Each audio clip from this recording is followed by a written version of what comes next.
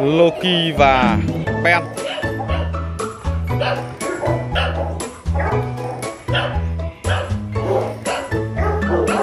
Anh ờ, dắt nó ra đây một tí cho nó thoáng, Nó đỡ vướng. Kéo nó xích ra đấy, Được rồi, cho đứng ở đấy được rồi. Cho nó không bị vướng. Kệ nó cho nó vờn nhau.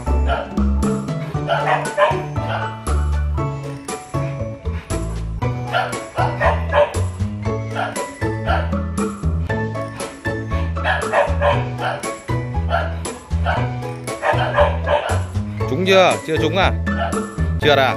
Rồi, để anh hộ cho Anh một đoạn Cái quan trọng là một là con đực nó sung hai là nó phải bắt nước đúng ngày Thì nó một phát nó ăn ngay Còn những con khó không phối được là những con hoa nó nhỏ quá Hoặc là cổ hoa nó cao quá Hoặc là này kia nhiều thứ Hoặc con cái nó chịu đau nó không có chịu được Chạm vào hoa cái là nó phản ứng ngay.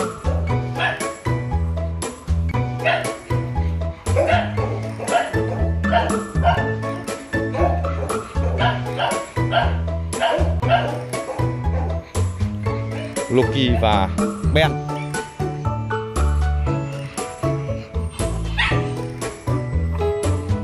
Ai mà ở khu vực uh, miền Bắc mà quan tâm đến uh, muốn bắt một cái con uh, chó không giấy thì có thể chờ cái đàn này à, Đây là một con cái không giấy nhưng mà là một cái con cái khá là đẹp. Ok chấp nhận.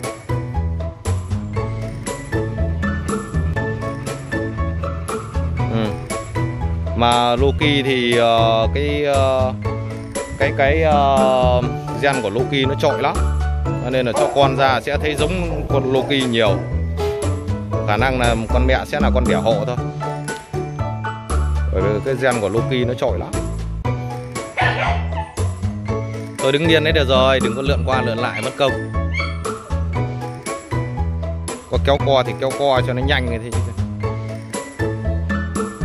Lại lượn quanh gốc cây đấy này, lại mỗi đứa một gốc một hướng là mệt lắm. Đấy, Kỳ ơi, Kỳ. Nói ngay mà. Vừa nói xong. Xích ra đằng này. Đứng rồi anh gọi con cái ra gần phía anh đi, Để cho nó kéo con đực di chuyển đấy.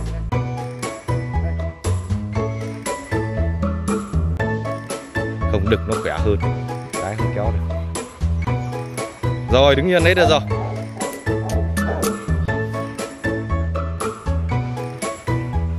Ok, em ờ, không giấy này được. Cái màu mắt rất là tốt, Màu mắt đen. Màu mảng cũng tương đối tốt. Chấm bi mắt ờ, hơi nhòe một tí thôi. Như thế là tốt rồi. Cơ thể cũng là ok đấy.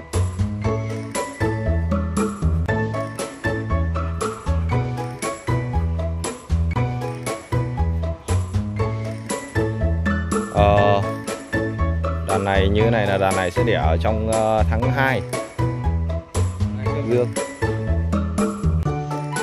Ngày hôm nay là ngày ờ, nước 1 thôi. Nước 2 là coi như là đàn này là sẽ là ngày ờ, 15 Coi như là cái nước phối chính của nó là ngày 15